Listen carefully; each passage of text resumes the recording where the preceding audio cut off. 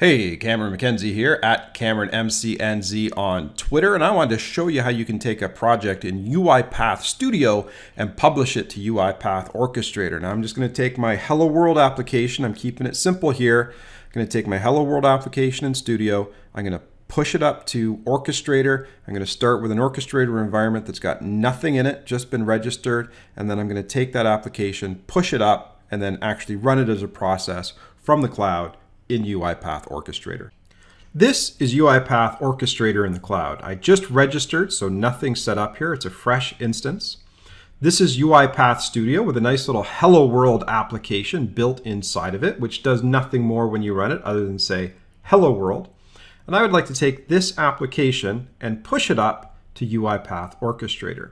Now the way you do that, if you've just registered for UiPath Orchestrator, you need to create an orchestrator service. And so there's this create new button, which I'm going to click. I use the add tenant option and then I provide a name like Insights Service and this creates the orchestrator service for me. I accept the generous number of runtimes that the trial edition provides. And when the service is set up, I click on this link that says Orchestrator, and it takes me into a new window. Now to quickly set up a robot and run your project from Orchestrator, what you need to do is you need to change from the modern folder to the default classic folder setup. That's the first thing you want to do. If you don't do that, some of the options won't be available to you. The next thing you do is go down to robots. And in robots, you click the option to create a standard robot. Now you need to provide a machine name. The machine name is important. I'm going to go to my command prompt here and type in who am I? And you'll see that it says I'm ThinkStation Visitor. That's because the name of my computer is ThinkStation and I'm logged in as a user named Visitor. You need to name the machine exactly the same as your computer name that you actually want to run the process on. So that has to be ThinkStation. Now it says, you know what, you're supposed to configure machines in a separate task, uh, and there's no machine called ThinkStation configured or provisioned. Would you like UiPath Orchestrator to do that automatically for you. And so I click this button here that says provision it for me. And that just makes sense. You want um, the tool to manage and set that up for you. You can do it in a separate step, but it's not necessary. You need to provide a name for your robot. I'll call it Insights Robot. You should provide a description for your robot as well. And the type of robot is going to be unattended. I'm creating an unattended robot.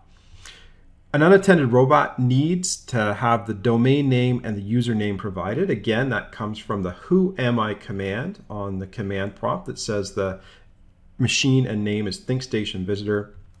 And you actually have to provide your password for that machine. That's the actual machine that you log into your computer with. It's not the UiPath online password, it's your computer password.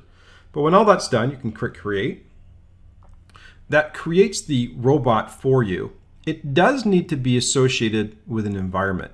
Now notice this environment link at the top. The contrast isn't really high and people often forget about this, but after creating a robot, you have to click on this button and create an environment. And I'll call it the Insights environment.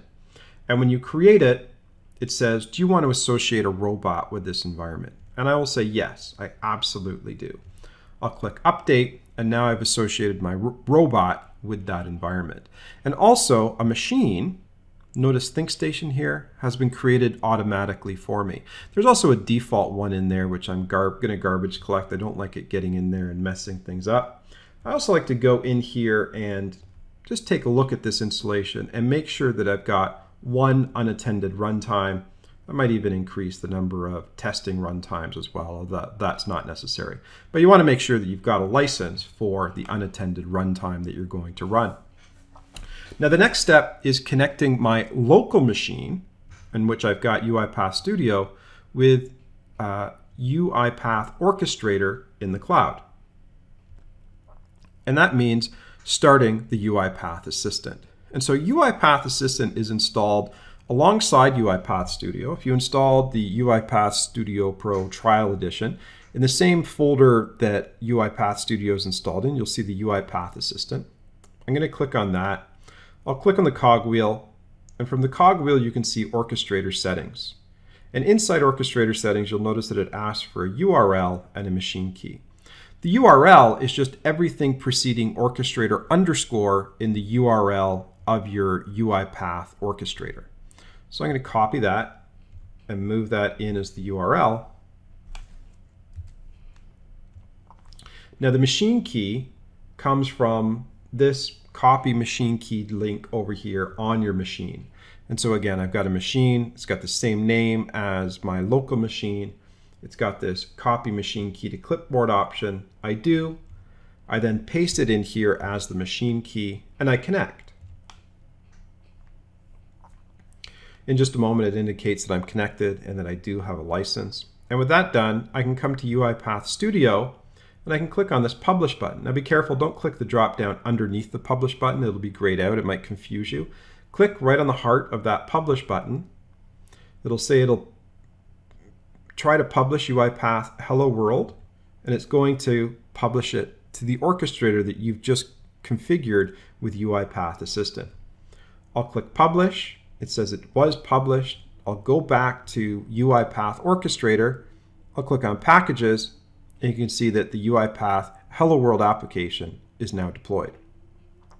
From here, what I want to do is I actually want to run that process. So I'm going to come over to Processes. From here, I'm going to add a new process. And the process is going to be based on the package I just pushed up. I'm going to name it Hello World Process. I'll put in a little description as well, and then I'll click Create and this now creates the process. With the process created, I can now run it. So I'll click the play button here. It's going to say, okay, we want to execute your robot. Where do you want to run it? Uh, where do you want to run this process? We want to run it on the Insights robot. It is available. I will now click Start.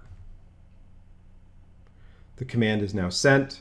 And notice Hello World runs. And that Hello World is running on my local machine. So from the cloud, I've actually installed a robot where anytime I start it from the cloud,